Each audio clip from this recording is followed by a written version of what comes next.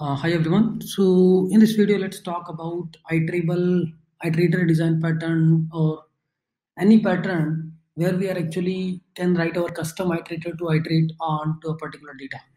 So it is nothing to do with uh, how we iterate. Okay. So in JavaScript now we already have a symbol iterator.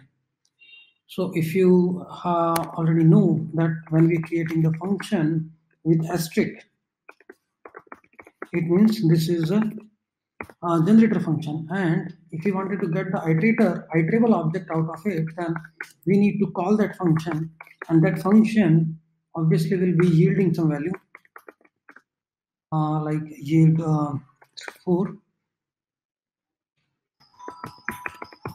okay. So here we are getting the iterable object where we can do a dot next. Okay. So if you talk about simple array array is a already iterator, iterable object. It's not an iterator object. Array is already a collection which can be iterated. So if you try to do array dot next, you will not get the value. You will get an error, right? Because array is already iterable uh, iterator, it's not iterable object. Sorry, my bad. So array is an iterable object, but it's not an iterator object which the generator function is giving us. Okay. So to make any object iterable, we need to add this function symbol iterator okay. Now this iterator you can iterate onto that particular array.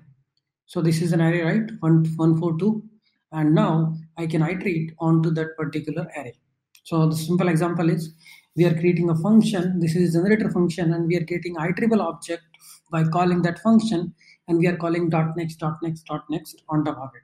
So by calling dot next we are getting two values value and done and these generators are actually important aspect when you wanted to pause the execution or run the execution okay?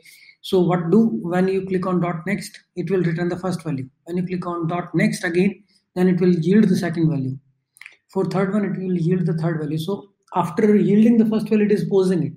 Then you are doing a again dot next then it is uh, moving to the next yield statement right? So this can also be uh, sum up in the for of loop like uh, data of uh, iter and if you do the console.log data you will get the two values value and none.